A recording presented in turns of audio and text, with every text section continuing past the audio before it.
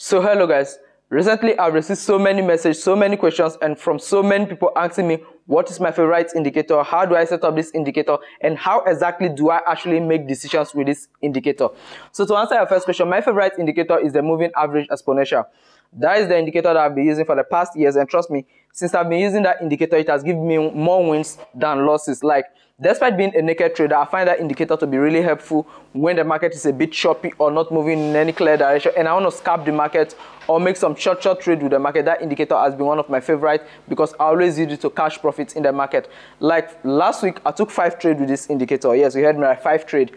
Other five trades I took last week were all made with this indicator and trust me, all of them went well. So in today's video, I'm going to share with you how you can set up your moving average indicator just as I set mine up, the right time frame to use whilst trading this indicator indicator, the right place to enter the market and the right place to get out of the market so that you always catch every profit that that indicator site for you. So that's simply all I'm going to break down for you in this video. Trust me, there are so many ideas about this indicator out there. Some saying it doesn't work, some said it works. But for me particularly, this indicator has worked for me most of the times. Like when I say most of the time, I simply mean it has given me more wins than losses in the market. And that's what I'm going to share with you in this video.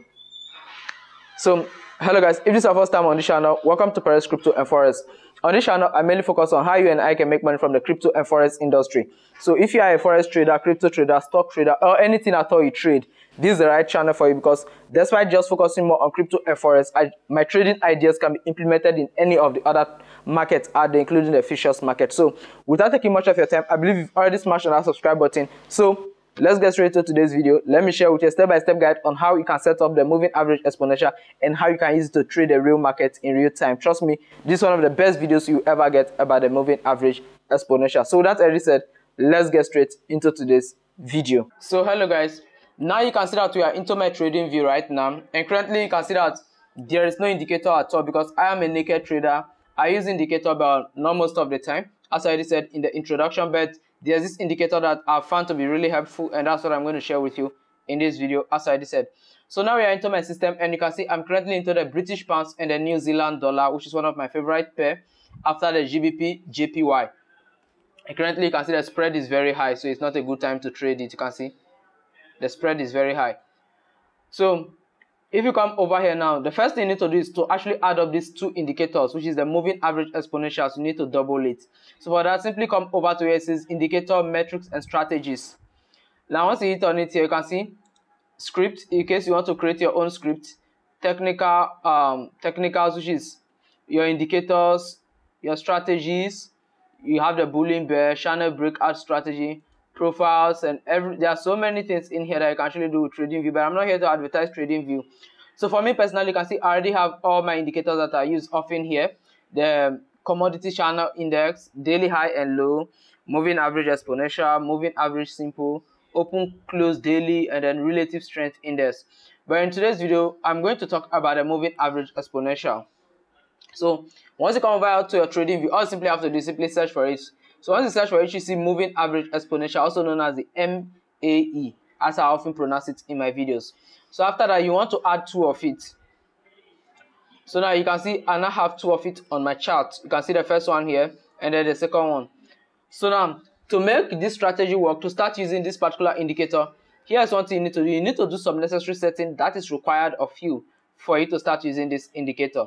So the first one is simply come over here and then come here.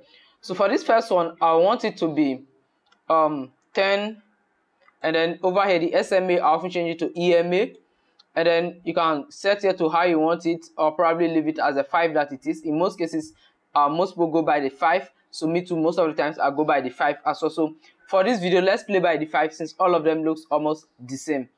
Then after that the next thing is simply come over to the style. So here's one thing you need to notice. You see where it says source always leave source as close. Your main focus should be at the closing point. That's one thing you need to focus on the closing point. and I see your time frame here. Leave it to be as short the time frame should be should match down of the chart and after that you can come over to style at this style part here you need to give it a color. So for this first one that we are setting this is 10 by 5 this one is simply to give us a buy notification which is when the market is ready to take a buy direction. That's when this one works. so for that to make it easy for you to recall, I always advise you give it a green color. so that once you see it plays in your favor you know that okay it's time for you to actually buy the market. After that i will then give it a very thick um color a very thick stroke so that it will be very easy for me to see around the chart and after that you can come and set any other thing you want over here. But for me most of the times i don't really come over here. In fact i don't even go there. Not most of the time. I actually don't go there. Then over on visibility there's nothing for you to do here. Simply keep it as it is. After that hit on okay so now you can see we have the green candle in the chart already you can see. Now we have the green candle. Now the next thing we need to do is actually change the other one as well. So over over here what you need to do is see where it says 9 i'll set it to 14 and then over here the method change it to ema and then the length leave it as 5 as well. And then the next thing you need to do here is simply coming over to style. And the style simply change it to red. So once you see the red you know that okay it's time to buy once the red move over then you know that it's time for you to buy the market. So you also need to make it thicker than the other thicker so that it will be easy for you to identify. So for that just hit on okay so now clearly you can see the two candlestick on our chart right now. Let me just stretch out this chart so you can see everything clearly. So you can see that we have the green and the red. So now that you've seen how I actually out of this candlestick now it's time for you to actually see how I trade with this um indicator. Sorry for me to say candlestick with this indicator. How I actually use this indicator to trade? So now now that you've done setting up the indicator so this is how the indicator actually works. So what the, this indicator naturally do is that it gives you a notification to either buy or sell the market. So now here, here let me explain. You realize that the first one we gave it an ema of 10 to 5 and that is a green color. So what it simply means is that whenever you see this green over here whenever you see the green color which is the 10 by 5 move above the um 14 by 5 it's simply telling you that it's time for you to buy the market. And when you see the 14 by 5 move above the green it's simply telling you that it's time for you to sell the market. That's simply what it means. So now let me show you a clearer view of it in this market. So let me get rid of those drawings. So take a look at this chart here you can see here that at this very point here after this big engulfing candlestick i call it engulfing candlestick before because it covers all because it covers all the other candlestick in this area all the bearish candlestick in this area were fully covered by it. So it's an engulfing candlestick. You can see not normally as a trader engulfing candlestick are signals of either buy or sell depend on the direction they happen. So you can see that this candlestick immediately the engulfing candlestick appeared you can see that the moving average actually give you a buy market. You can see the buy uh, here. So now let me just mark out the buy position here. You can see it gives you this market at this area here. So if you had placed a buy order before this is a good profit range because for me the way i trade my stop loss will be a bit below here you can see that this was a good profit trade that this particular indicator actually gave personally i use this indicator to take five solid trades last week and all of them went well this is because i was able to patient enough and i play along this indicator I'm a naked trader, but trust me, this indicator actually plays the industry in a total different way. So now what you simply look at when you are trading this indicator is looking at possible places whereby the market moves above each other. So you can see, for me, I will not advise you to rely on this indicator when you're on the one hour chart. When I'm personally trading, I use the, these three key time frames. I use the one minute, the 15 minutes, and then the five minutes. So why do I use this uh, short, short time frame to actually trade this indicator? The reason is that the shorter the time frame, the easy it is for you to actually get quicker moves in the market. Though the quicker moves can be sometimes really risky. So for example, this is a 15 minute chart. You can clearly see that currently it's showing that the market is a sell market. You can see showing you that the market is a sell market. And if you look at it carefully, it has been a serious downtrend. You can see, if you look at it carefully, you can see the downtrend keep coming. This over here, you can see that the downtrend keeps coming it's a pure example that this is actually a downtrend and the, in, the indicator is actually showing you that it's a downtrend simply because the 14 by 5 is above the is above the 10 by 5 that's to tell you that okay it's time for you to actually place a sell order. So most people who actually use this indicator like for example if i had used this indicator today like today i already made my trade all long ago. This already 11 okay this already 9 p.m ghanaian time. I don't trade by this time of the day. So you can see i've already made a trade since morning. So people who use this indicator would have placed a sell order at this area or this area and they would probably be in a huge profit by now. If you take a look at how the market actually dropped they will be in huge profit by now. So now let me get rid of it. So now first of all you can see that this is a clear downtrend and then the indicator is still telling you that you should sell. So this is a clear sign for you to actually place a sell order with this indicator. So now now you simply understand how the indicator works. The indicator is simple. Once the 14 by 5 moves above the 10 by 5 is telling you that it's time for you to place a sell order. But once the 10 by 5 actually moves above the 14 by 5, it's telling you that it's time for you to place a buy order. And it's really simple. So now take a look at it right now. We are on the 15 minute time frame and you can see the market is moving a bit bullish. Yeah, this indicator is telling you that you should place a sell order. So now let's go to a lower time frame and see what it actually gives over there. So now moving down to the 5 minute time frame, let's see how it goes.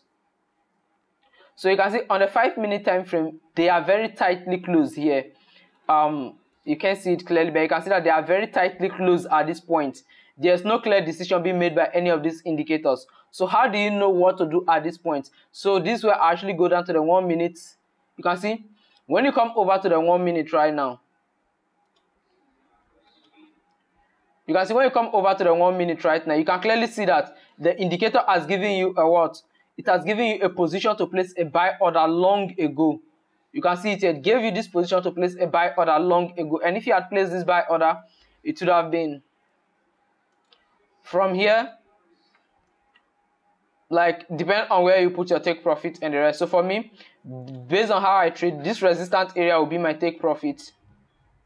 So you see, it has almost got into my take profit even. So this would have been my take profit should have been a risk of, uh, let me just say, 1 to 1.4 something. So this would have been how I would have placed this trade. So the one minute time frame, here's one thing you need to know about the one minute and the five minute. They are very risky. The one minute and five minute are very risky time frame to trade with because it takes the lowest moves in the market. Like no one trades in seconds. So if you are someone who is a day trader or a scalper, mostly scalper, then the one minute and the five minutes are really perfect for you. But if you are a long-term day trader, like someone who tr trade for uh, a long term within one day, like for some few hours within a day, then the 15 minutes is a good idea for you. But if you are someone who scalp the market, then five minutes and one minute is cool for you. So personally, on my own term, I've made more profit with this indicator using the fifth, the five minutes and a one minute uh, time frame rather than anyone because it gives me a quicker entry. And once i notice that entry and then get into a good profit i get out of the market immediately. That's simply how i trade with this indicator. So most of the time that's the reason why i don't like trading with indicator most of the time is because indicators do lag at times. But even when they lag if you get your way around it clearly you will still know the right thing to do. Like for example before i pull i place um i confirm to you that this market was a sell market I first of all show you the downtrend it took. And you can see that the downtrend is still really visible. That's still to give you hope that the market is a sell market. And the indicator is right by telling you on a higher time frame that you should place a sell order instead of a buy order. But then when you go to lower time frame, it tells you to place a buy order. So here's the thing I have for you.